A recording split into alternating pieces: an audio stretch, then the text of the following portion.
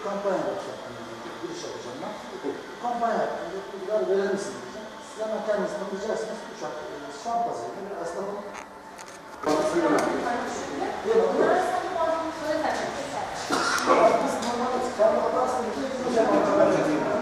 bir şey, söyleyin ya, sıkıntı yok. Siz söyleyin, bak e, şöyle bir şey. Yani Abbas'ta var. Abbas'ta var. Onu elma verebiliyor. Garanti verebiliyor. Eğitimde bakıyorsun.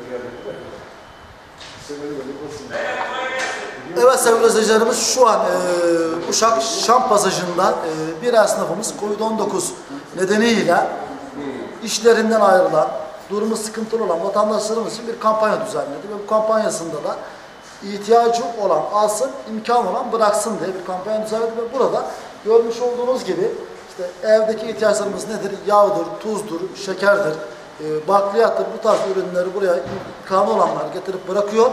İhtiyacı olanlar da alıyorlar. Bu kampanyayı başta e, esnaf ablamızla konuşacağız. Bakalım niçin yaptı, nasıl yaptı ve süreç nasıl işleyecek bunları öğreneceğiz.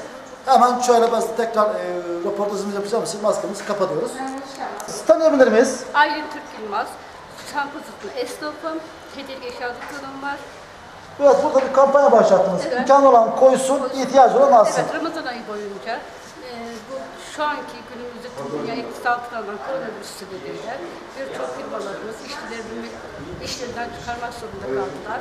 Bundan dolayı ihtiyacı olan alsın, imkan olan koysun kampanyasını başlatmış bulunuyoruz. Peki bu ne kadar sürecek? Ramazan ayı boyunca devam edecek. Sadece pazar günleri hariç diğer günlerimiz açık olacak. Peki ihtiya imkanı olanlar e, ne yapacaklar? Şampazına gelecekler. Gelecekler. Genelde ne ürünler var burada? elinde olan imkanlardan getirsinler. Eğer yardım etmek isteyen olursa bizimle iletişime geçebilirler.